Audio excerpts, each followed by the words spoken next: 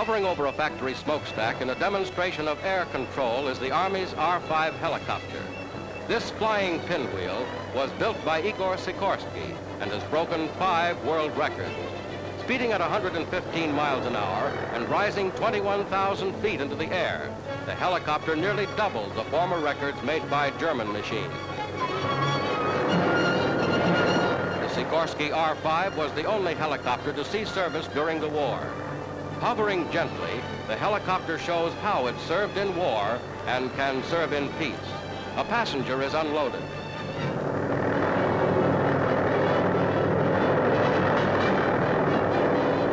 The machine demonstrates extraordinary lifting power, taking 17 passengers, a cargo of over 2,500 pounds into the air.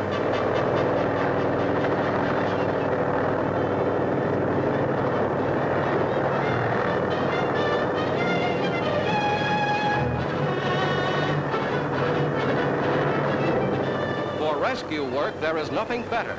The American helicopter is assured a busy place in the future of aviation.